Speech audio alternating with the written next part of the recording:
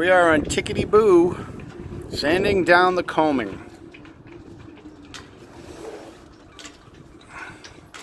side mostly done. Those tight spots though, have to get by hand. It's gonna look pretty, all varnished. Halfway done right here.